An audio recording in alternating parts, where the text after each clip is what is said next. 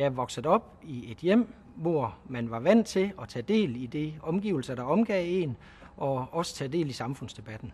Det har jeg taget med mig i min rygsæk og i det liv, øh, der har bragt mig hertil, hvor jeg er.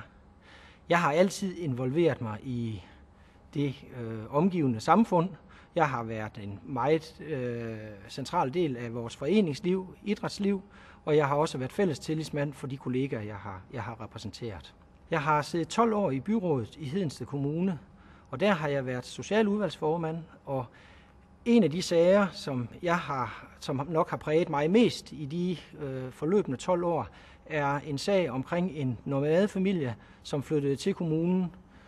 Vi gik ind og tog ansvar og fjernede dem, for de børn de var udsat for nogle grove svigt.